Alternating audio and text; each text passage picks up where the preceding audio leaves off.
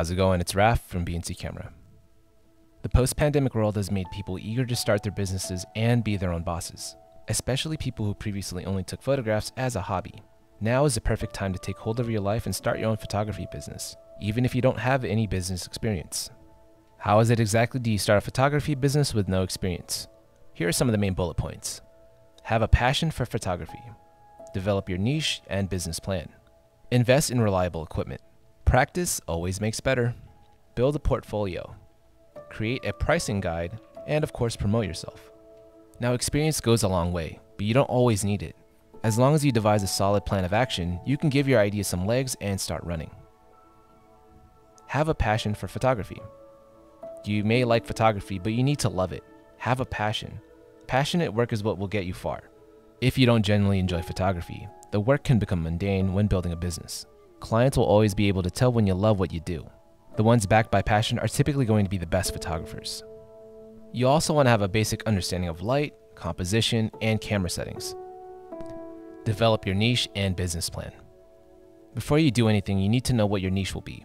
What will be your main focus? There are so many different options, and it's good to specialize in one or a few that are similar. Here are a few examples of different photography niches.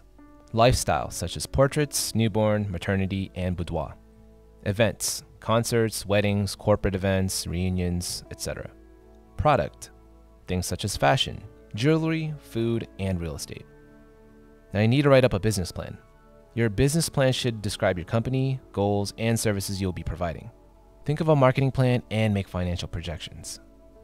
Invest in reliable equipment. It doesn't have to be top of the line, but your camera should be reliable investing in your passion is the way to go. Besides a camera, you should also invest in a few more basic things. Depending on the style of photography, it isn't going to hurt to invest in a few different lenses.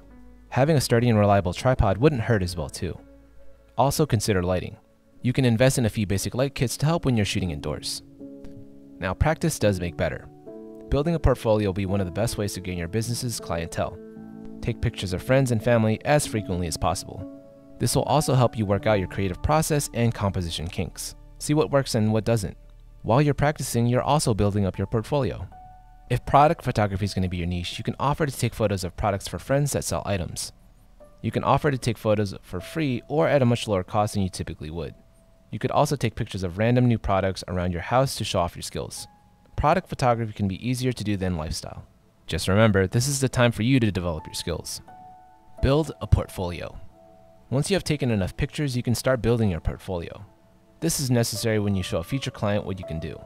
You can create a portfolio using a site builder like Squarespace, Wix, etc. It's rare to see physical portfolios these days, but of course it doesn't hurt to have one as well too. Create a pricing guide. Benchmark how other photography businesses with a similar niche are pricing their services. Since you're new, you can price match or go slightly lower than your competitors.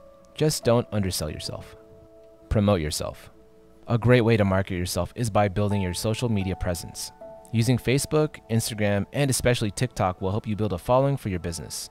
Social media is one of the best ways to attract people to want to invest in your services. Once you feel comfortable with your portfolio and gear, you can start taking more steps to become that much more official and legitimate. Hopefully this little guide will help you in building your foundation to your eventual photography and or videography career. If you found the video insightful, again, please be sure to give us a like and subscribe if you haven't done so. Raf from B&C Camera, and I'll catch you on the next one.